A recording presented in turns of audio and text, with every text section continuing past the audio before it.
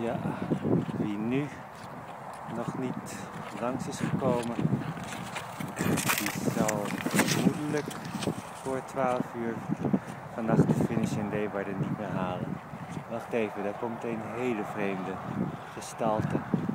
Dat lijkt wel buitenlandse. Mevrouw, stopt u eens. Sorry, Sorry, ik u bent... Oh, ik kan nog niet zo goed schaatsen. u zit, Hi. u zit in de toertocht. Ah, Komt net uit Sneek, neem ik aan. ja, kant. Ik Van weet niet hoe dat ja, alles heet. Maar ik ben voor de eerste keer in Friesland. Ja, En ik heb gehoord van die nationale, zo de Elfstedentocht, Ja. ken je dat? ja, En dat dat niet doorgaat, vond ik wel heel jammer. ja, Maar dan heb ik gehoord dat heel veel mensen toch gaan dat, dat route doen. Dus Ja. ik ben begonnen, ja, zo bijna één uur geleden. ja. En u hoopt nog voor vanavond 12 uur eh, Ik hoop, de ik finish in Leeuwarden te bereiken. Ja, Ik weet niet of me dat gaat lukken. ja, Maar ja, ik dacht, ik doe niets eh, met dat volk op de arbeidsmarkt. Dan ga ik Ja. minstens op dat tocht, de Elfsteden toch doen. ja, Oh, dat doet wel pijn, maar niet.